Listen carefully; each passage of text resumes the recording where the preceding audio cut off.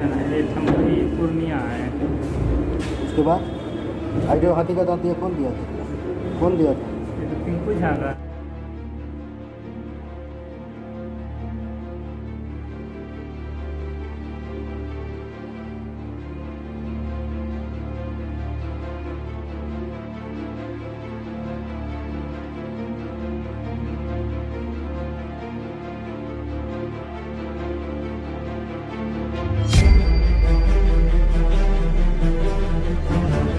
पूर्णिया में एक होटल हीरा था, हीरा है, वहाँ पे ही तो तकरीबन ये 16.1 केजी का एक हाथी का दांत है, वो पकड़ा गया है।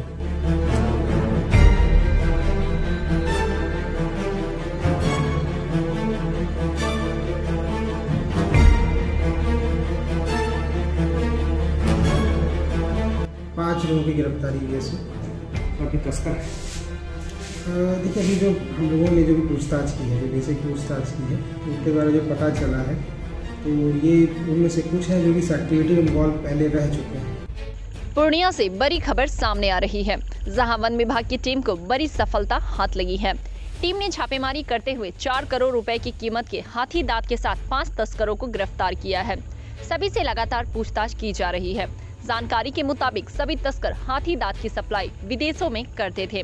गुप्त सूचना के आधार पर मिली जानकारी के बाद ज़िले के चंपानगर ओपी क्षेत्र के चंपानगर मवेशी हाट के समीप से वन विभाग की टीम ने एक हाथी दांत के साथ पाँच तस्करों को गिरफ़्तार किया है।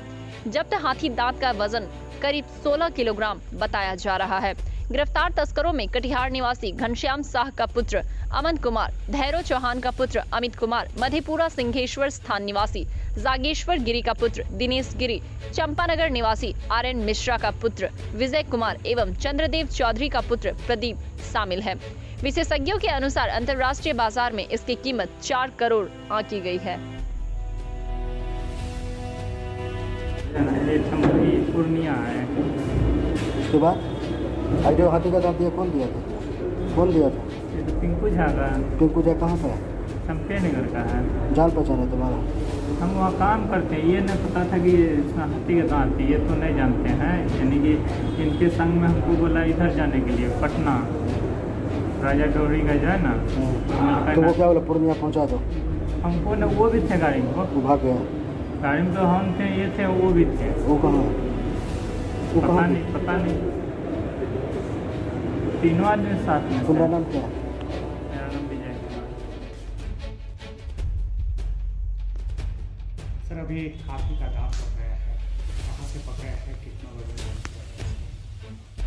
अ, ये पूर्णिया में एक होटल हीरा था। हीरा है। पे तकरीबन ये सिक्सटीन पॉइंट वन के जी का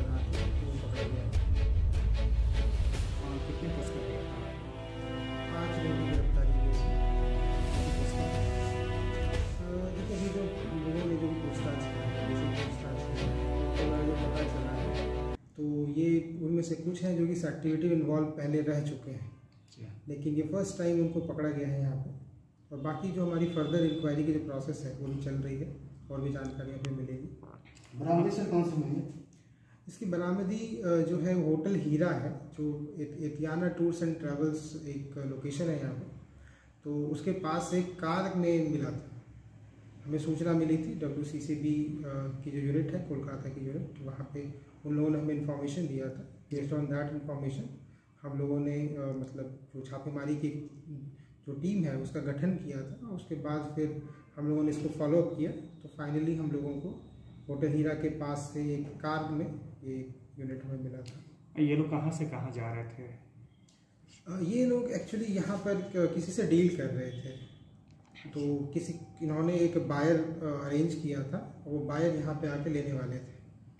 तो ये कहीं से जाने वाला नहीं था बेसिकली बायर ही यहाँ आके परचेज करने वाला तो हमें वो वो इन्फॉर्मेशन थी तो बेस्ड ऑन दैट ही हम लोगों ने बस कहाँ से लाया गया था ये हाथी दांत जो इन्होंने अभी तक बताया है तो ये बता रहे हैं कि चंपारण के आसपास का चंपानगर। चंपानगर सॉरी चंपानगर का जो एरिया है जो पूर्णिया में पड़ता है वहाँ से इन लोगों ने लाया था वहाँ पर कहाँ से आया है इसकी इन्फॉर्मेशन अभी हम लोगों के पास नहीं आ पाई है। पिंकू झा का नाम आ रहा है इसमें।